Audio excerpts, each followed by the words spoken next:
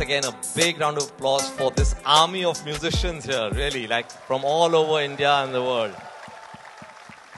This, we can feel the energy. Um, thank you for being here. As Aparna said, that this has been a project with me for more than two decades.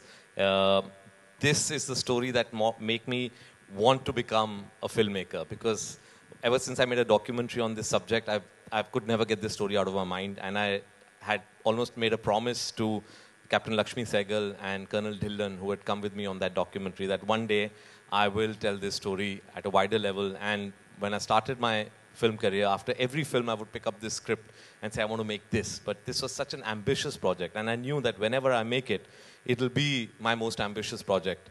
Um, and finally, after 20 years, I found the partners who shared my vision and honestly stood behind me like a rock and you know gave me wings to fly and make it the way I wanted to. So thank you, Amazon Prime Video, for giving me this platform for making my dream project come true.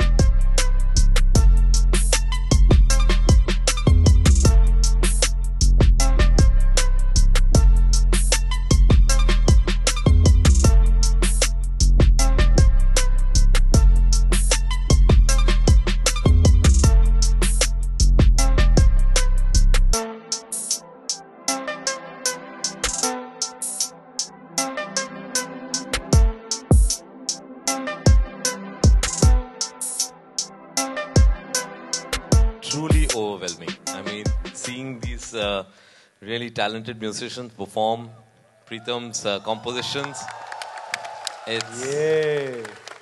and with the visuals of uh, the show running on that screen, it was an extremely emotionally overwhelming moment for me. Thank you so much. Thank you very much.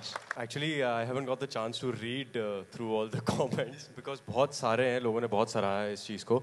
Uh, but uh, they've loved the portrayal of uh, the INA soldiers क्योंकि किसी को ये कहानी ज़्यादा पता नहीं थी और um, जिस तरह से इस चीज़ को दर्शाया गया है uh, कबीर सर ने जिस तरह से किया है इस चीज़ को um, लोगों को वो काफ़ी ज़्यादा पसंद आ रहा है। And they are very vocal about it which is great it's a great feedback and समझ में आ रहा है कि लोगों को ये बहुत ज़्यादा पसंद आ रहा है। सो थैंक यू एवरी बहुत बढ़िया And you guys are just amazing.